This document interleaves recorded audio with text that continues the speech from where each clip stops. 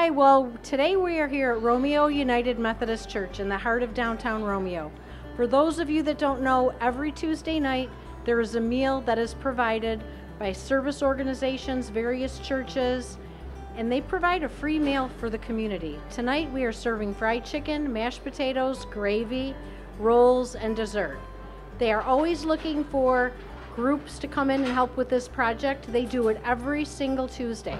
The meal is served at 5:15 to 6:15. It's free of charge. They also deliver to homebound clients. We have Ed who has been delivering for 13 years the meals around the community.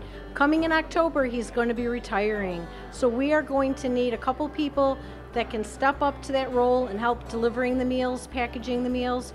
And again, if you can help even one one week or one Tuesday out of the whole year, there's some slots open.